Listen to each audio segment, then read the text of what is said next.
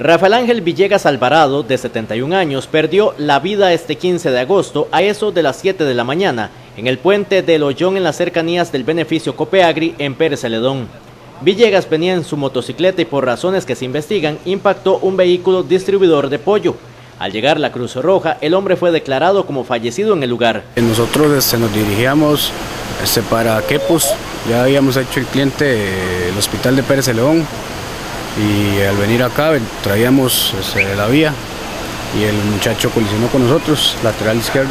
La Policía de Tránsito se hizo presente para realizar todos los trámites necesarios en este tipo de casos y a la espera de que el organismo de investigación judicial hiciera también las pesquisas correspondientes. Tenemos una motocicleta que colisionó contra un vehículo, eh, un camioncito repartidor.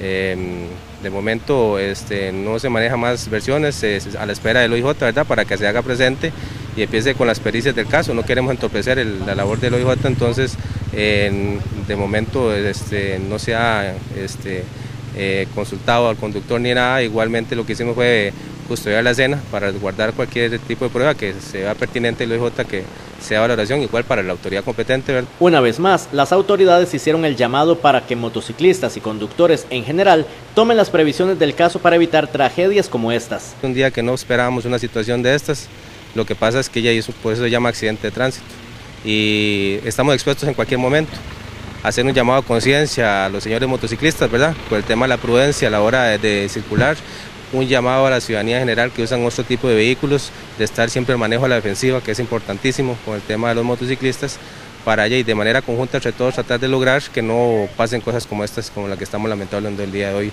Una familia en un día festivo perdió este, a uno de sus integrantes, que es lo que no queremos nosotros. El acompañante comentó que el ahora fallecido hizo caso omiso a una señal de tránsito, situación que tendrá que ser aclarada tras las investigaciones pertinentes. Él irrespetó el SEA, se brincó el SEA y colisionó con nosotros.